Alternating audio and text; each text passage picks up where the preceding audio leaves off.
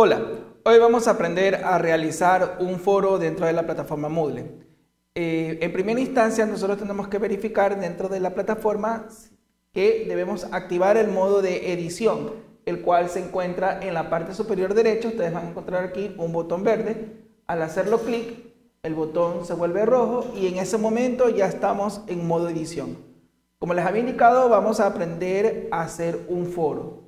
Para ello vamos a utilizar, esta plataforma es eh, mi plataforma regular de clases, pero vamos a utilizar una sección que está dentro de la plataforma.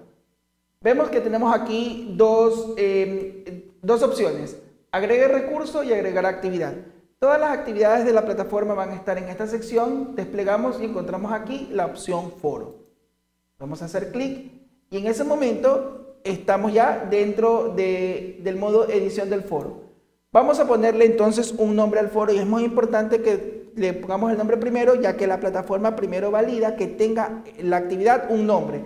Si ustedes no lo hacen, no van a poder continuar editando el mismo. Vamos a poner entonces foro de prueba. En, aquí, en este bloque donde dice edición o descripción, ustedes van a escribir eh, el tema del foro. Por ejemplo, vamos a hacer aquí eh, presentación de prueba. Muy bien. Y aquí van a encontrar eh, una opción. Eh, está, cada persona plantea un tema, debate sencillo, foro estándar, foro de, de preguntas y respuestas y foro para uso general. En esta ocasión vamos a aprender a hacer un foro de debate sencillo. ¿Qué quiere decir debate sencillo? El profesor plantea una interrogante o un escenario y los demás estudiantes comienzan a responder. Es decir, los estudiantes no van a tener acceso a editar lo que el docente ha colocado en el foro, ¿no? Luego tenemos aquí las opciones, podemos nosotros bloquear para que los estudiantes escriban en el foro y no adjunten ningún archivo. Entonces vamos a lo que es adjunto y recuento de palabras, ¿verdad? Como vemos aquí, desplegamos esta ventana y ponemos no se permite subir archivos. Con esto nosotros evitamos que los estudiantes, en vez de, escribir en el foro, suban un archivo de Word, Excel y que digan aquí está mi participación. Vamos a hacer que el estudiante escriba directamente en el bloque del foro, ¿no? Asimismo, podemos asignarle una calificación a la participación, en el cual eh, nos vamos a esta ventana donde dice tipo de consolidación y ponemos calificación máxima.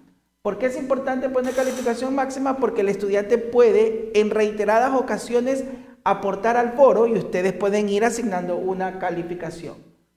Eh, editamos, porque por default la plataforma asigna un puntaje sobre 100, vamos a editar sobre 10 y podemos también ponerle un tope a las participaciones, es decir, que hasta tal fecha los estudiantes pueden participar y van a, a consignar una calificación.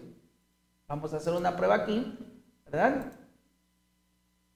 En donde activamos y ponemos el límite, ¿no? Por ejemplo, hoy 23 vamos a poner que el límite sea hasta el 29 de julio y luego ponemos guardar cambios.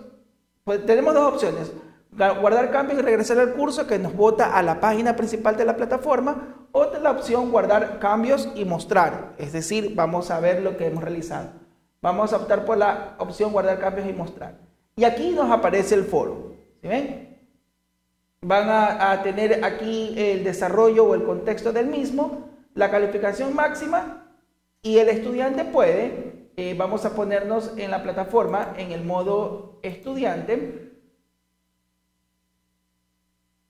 Y el estudiante ve el foro así, es decir, puede poner responder y comienza a responder el foro y así cada estudiante lo va realizando.